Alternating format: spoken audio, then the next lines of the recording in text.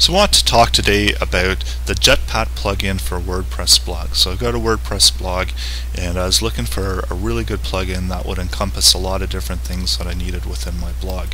Uh, so I found this, uh, it's, it's new, it's from WordPress.com, it's Jetpack. Uh, you can find it in the plugin directory. Uh, once you enable it, you need an account on WordPress.com. And the particular feature I want to talk today about is the JSON API. So what this does is this allows your application to access content through the cloud. Um, and this uh, will also allow you to authorize applications and, and services to se securely connect to your blog, allow them to use your content in new ways, and offer you new functionality. So it's it's something that developers can use uh, from WordPress.com. Um, you can use the OAuth2 authentication system uh, and the WordPress REST API to manage and access the site's content.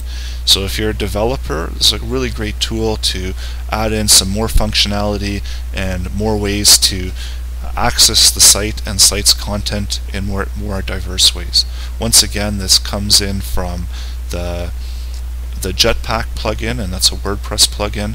Uh, you could download it from Jetpack ME or you could go through the plugin directory to download it and install it on your WordPress blog.